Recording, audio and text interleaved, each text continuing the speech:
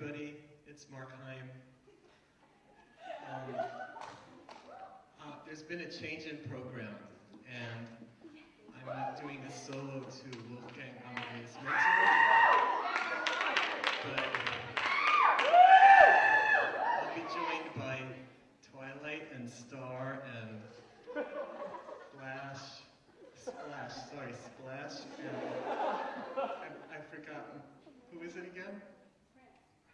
Sprinkle.